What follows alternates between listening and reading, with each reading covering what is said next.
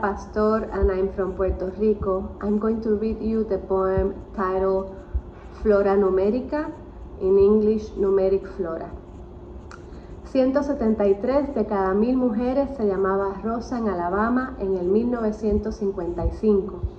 Una de ellas se sentó en un autobús que nos llevó a todas a un futuro de posiciones y museos, pero con una idea de justicia que rondaba las posturas de la automovilística. Hubo rosas que no contaron en el censo porque recién habían cruzado la frontera o habían germinado. Una niña que nació por cesárea y no lactó fue la última en llamarse Rosa en el 1989. Ese mismo año dejaron de nacer Rosanas. En la década del 80 se extinguieron las Rosario en el 1990 ninguna niña se llamó Rosemary.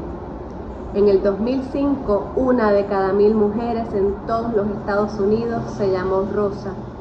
Hay residuos del Big Bang en las rosas, residuos de radiación, hay menos abejas en el planeta polinizándolas, hay menos rosas.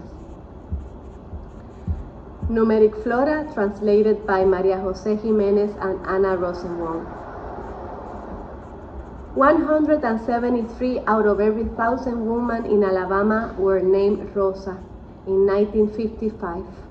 One of them sat in a bus that carried all of us women to a future of jobs and museums, but with an idea of justice that roamed around the seams of the car industry.